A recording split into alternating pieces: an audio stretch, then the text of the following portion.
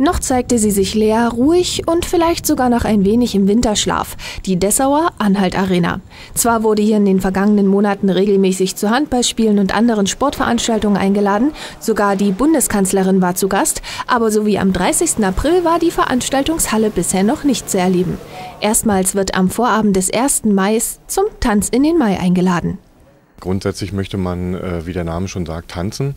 Das ist wieder ein geflügeltes Wort geworden, was die Leute gerne machen. Und Tanz in den Mai ist eine Geschichte, die einfach äh, mit Emotionen belegt ist, wo man ähm, die warme Zeit wieder begrüßt. Und äh, das soll hier kräftig gemacht werden in Dessau, ähm, wo die Leute einfach mal in verschiedenen Tanzabteilungen oder Dancefloors, wie man so schön sagt auf Neudeutsch, zu verschiedenen ähm, Rhythmen das Tanzbein bewegen können und sich die Seele aus dem Leib tanzen können, quasi. Die ganze Nacht durch. Frank Kuban und Kompagnon Dirk Merkel haben zuletzt mit der Dessauer Märchenweihnacht gezeigt, dass sie mit frischen Ideen überzeugen und erfolgreich sein können. Als Konzerthalle hat die Anhalt Arena schon mehrmals tausende Besucher angelockt. Jetzt wird es Zeit für eine neue Nutzung. Wir wollen eine Tanzlocation draus machen. Eine Tanzparty soll es werden. Deswegen wird die große Halle mit Bühne und einer Partyband sein. Der, die Cafeteria und der sogenannte VIP werden noch Dancefloors werden mit DJs. Dann gibt es eine Cocktail-Lounge unten und der Außenbereich wird auch schön gestaltet werden. Und wenn das Wetter sehr, sehr schön werden sollte, äh, wird vielleicht auch noch eine Band draußen spielen.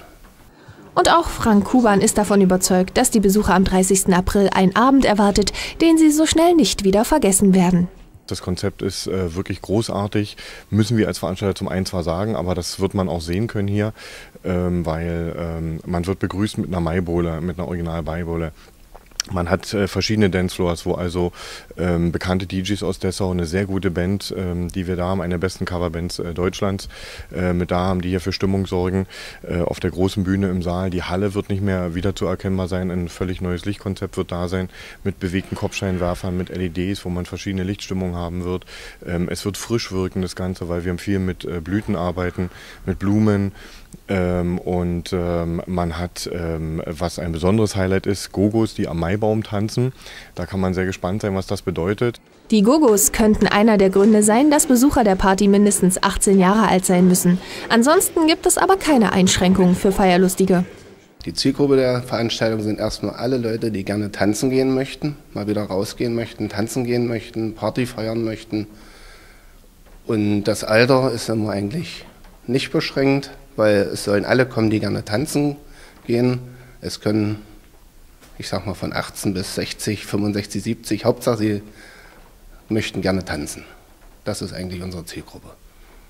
Karten für den Tanz in den Mai, bei dem natürlich mit verschiedensten Speisen und Getränken auch für das leibliche Wohl gesorgt ist, gibt es ab sofort bei der Stadtinfo Dessau und allen bekannten Vorverkaufsstellen, vielleicht auch als kurzfristiges Ostergeschenk.